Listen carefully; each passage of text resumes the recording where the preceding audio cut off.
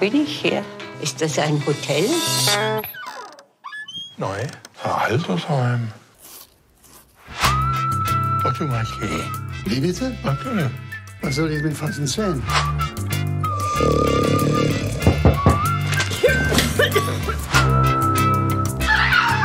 Jesus. Das war Mord, da bin ich sicher. Tut mir leid, ich nehme niemanden mehr auf. Auch nicht vorübergehend. Ich will uns nauseckler. Da kommt ja dieser fürchterliche Kuchen wieder hoch. Der Tappikler in der Arsch.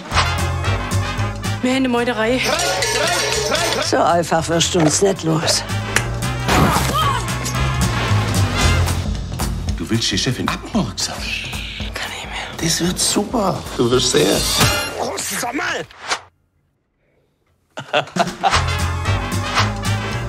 Habe Kanake gefunden im Büro. Bist ein Afrikaner. Ja, ja, Afrikaner, Zigeuner, Kanake ist doch das Gleiche.